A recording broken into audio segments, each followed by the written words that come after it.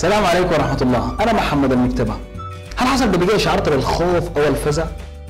كثير مننا قبل كده شعر بالمشاعر دي الشعور بالخوف زي ما اتكلمنا قبل كده عن المشاعر السلبية هو صديق لنا ولكن في الأول يعني شنو الشعور بتاع الخوف؟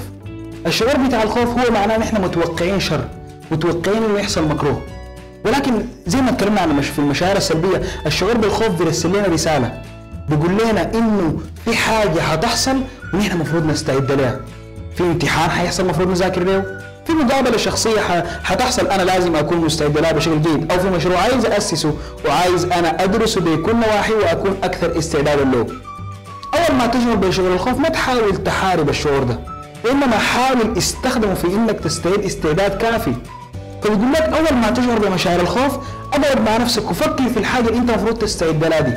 وابدا خد لنفسك تصور واضح لمجموعة الأفعال اللي أنت هتعملها وهي هتساهم في إنك تكون أكثر استعدادا للحاجة اللي هتحصل. وحتى لو بعد ما استعديت شعرت ببعض الخوف.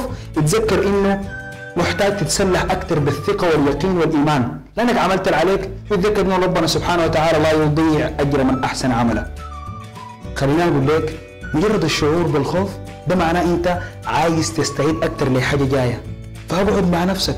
فكر وخد سيناريو لكل التصرفات وكل السلوكيات اللي حتخليك أكثر استعدادا. وفي اللحظة ديك حتكون أنت تخلصت من شعور الخوف تماما وتسلح بمزيد من الثقة وبإيمانك بربنا سبحانه وتعالى. وهنا بتغلبك على الخوف هتشعر بارتقاء أكثر وهتنجز أكثر وعيش بقوة سعادة. سلام عليكم.